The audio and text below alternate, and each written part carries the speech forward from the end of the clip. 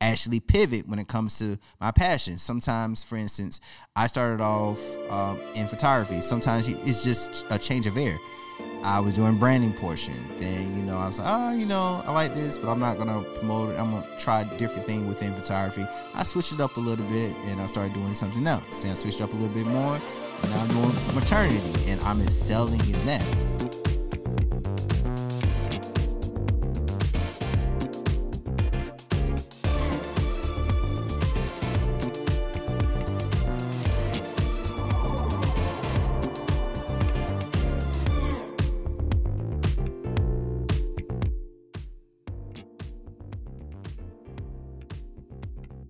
Oh, this is 10. We here. We here. It's 10, baby. Let's go. I dropped 51 in the last one on one. Bars. Not really. Not at all. I failed at that. I don't know where that was going. It was going somewhere. It just just didn't land at all. But it's fine. it's okay. no, I'm keeping this in the video.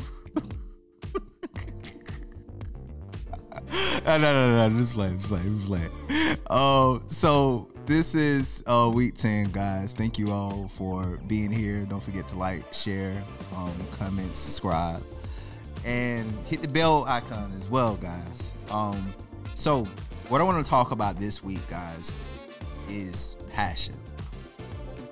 Um, there's this thing that goes around, and a lot of people state it, is that hey, you should, you know, do your passion and that passion itself should spin into a job.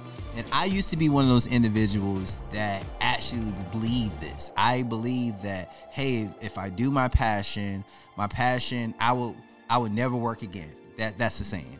Um, if you do your passion, you would never work again in life. That is a lie. It's a lie. I'm so I'm uh, I'm just telling you, it's a lie. And the reason it's a lie because um when you are really doing your passion, it's going to cost you something. Okay. And what I mean by that, so me doing my passion, I love film. Um, I'm a film head. I love watching film. Um, also, I love photography. Um, both of those passions are it, it's hard work at times and oftentimes it's not fun. Sometimes, you know, for a film, it could be staying up a good 12 hours straight.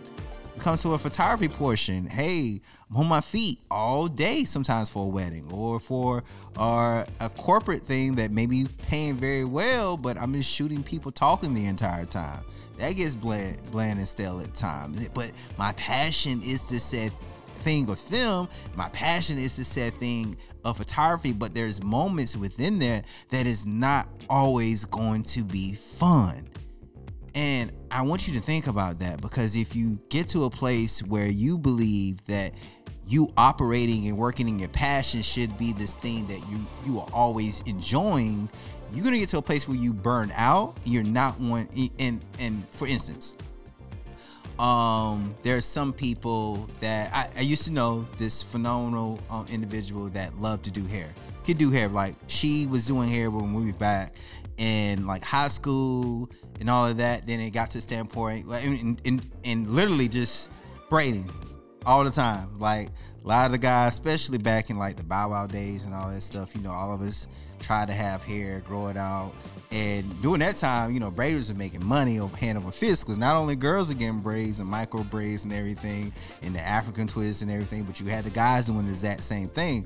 So she was making money hand over fist doing what she loved, which was braids and making those unique designs. But it got to a place where she was actually busy a lot, and now she doesn't even working hair anymore because she said it just it isn't fun anymore. And that's the thing I want to talk about your passion at times it's not always going to be fun.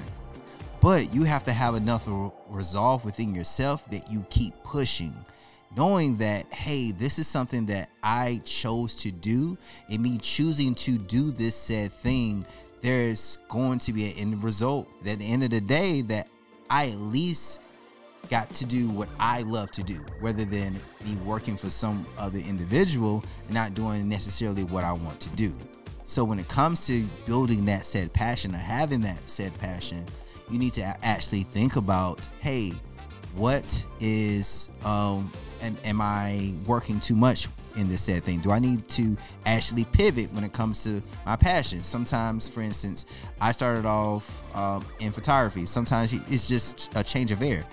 I was doing branding portion. Then, you know, I was like, oh, you know, I like this, but I'm not gonna promote it. I'm gonna try different thing within photography. I switched it up a little bit and I started doing something else. Then I switched up a little bit more and now I'm doing maternity and I'm excelling in that. So sometimes when it comes to your your um, passion, you gotta think of it like a relationship.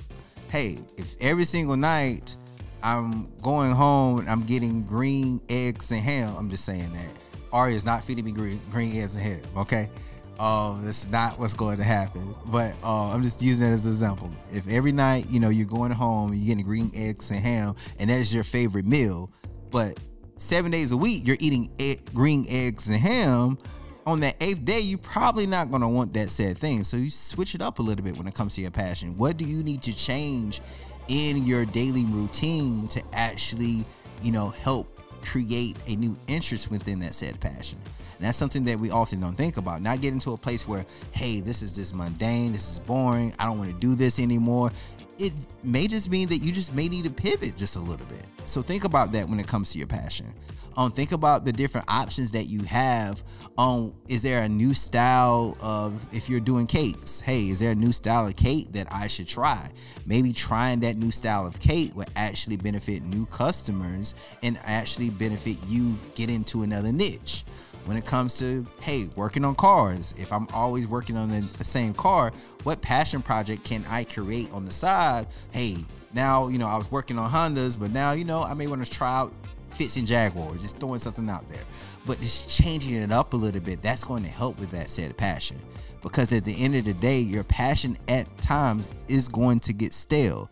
But you have to have enough say so within yourself and enough motivation and resolve within yourself that you keep consistent and you drive within that fat that passion. That's gonna be important. Okay. So that's gonna be our week 10, guys. Um, think about that passion, if you're getting to a place where you want to stop, don't stop. Think about what you need to change um, to keep that passion going. Okay? So, like, share, comment. See you all next week. I appreciate you. Say la.